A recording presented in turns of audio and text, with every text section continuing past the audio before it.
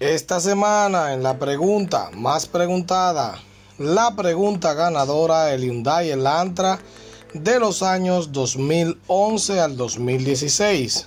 Un vehículo que en comparación a los precios dominicanos se puede decir que está a buen precio.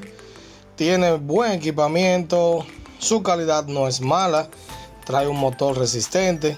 Como todos Hyundai y Kia, su debilidad es la resistencia de su tren delantero y plásticos interiores, pero estos a la hora de ser reparados también son más económicos, es decir, que tienen esa ventaja. Definitivamente una buena opción para nuestro país. Hyundai Elantra 2011 al 2016, la pregunta más preguntada de esta semana.